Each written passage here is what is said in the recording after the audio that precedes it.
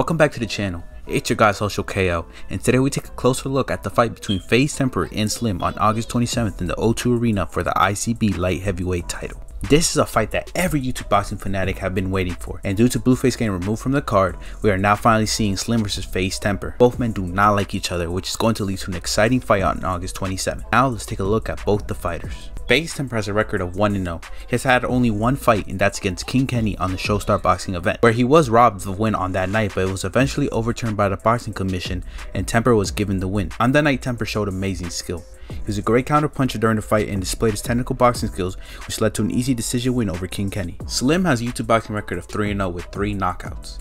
Slim's first fight was against Fousey where he brutally beat up Fousey for 4 straight rounds, which led to Fousey receiving a broken nose. Slim's second fight was on Social Knockout against NA Productions, the guy that does 3M videos.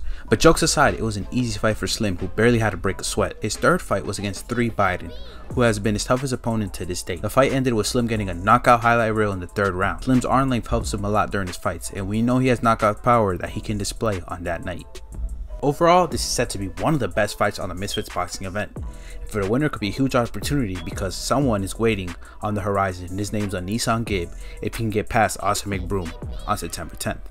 Thanks for watching this video. Make sure to like and sub to the channel. Next episode we'll be covering KSI's next fight. See ya.